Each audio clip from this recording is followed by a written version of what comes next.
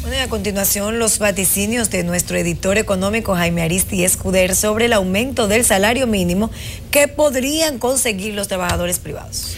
Muy buenas noches, Jaime, cuéntanos. Buenas noches, Faride. Buenas noches, Claudio. Al inicio de abril comenté que a pesar de que los sindicalistas demandaban un incremento del salario mínimo de un 30% y que los patronos ofrecían un 5%, mis cálculos me llevaban a pronosticar que el incremento sería de un 15%. Ayer se conocieron posiciones que comienzan a converger. Los patronos ofrecieron un 11% y los sindicalistas están dispuestos a aceptar un 17% siempre y cuando el próximo ajuste se realice dentro de un año y no en dos años, como se establece legalmente. Vuelvo y reitero que el número de convergencia será 15%.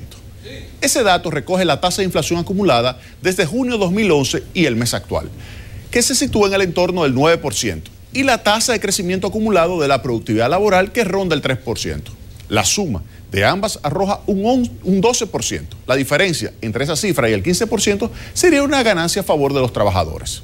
Los sindicalistas deben tomar en consideración que el salario es el precio de la mano de obra que surge de la interacción entre la oferta y la demanda. Cuando aumenta la cantidad de personas, por mayores flujos de inmigrantes, por ejemplo, se reduce el salario real. Y cuando aumenta la demanda laboral, se incrementa el salario. ¿Qué determina entonces la demanda laboral? La productividad de la mano de obra. Y esta depende del nivel educativo. Lamentablemente, los dominicanos más pobres tienen una tasa de escolaridad promedio muy baja.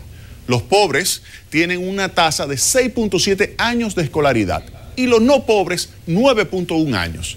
Esto contrasta con la educación promedio de otros países con mayor nivel de ingreso y que tienen una escolaridad de 12 años. Además, los indicadores educativos nacionales revelan la existencia de un sistema de muy baja calidad que se traduce en una tasa de remuneración por cada año educativo que no incentiva a permanecer en las escuelas.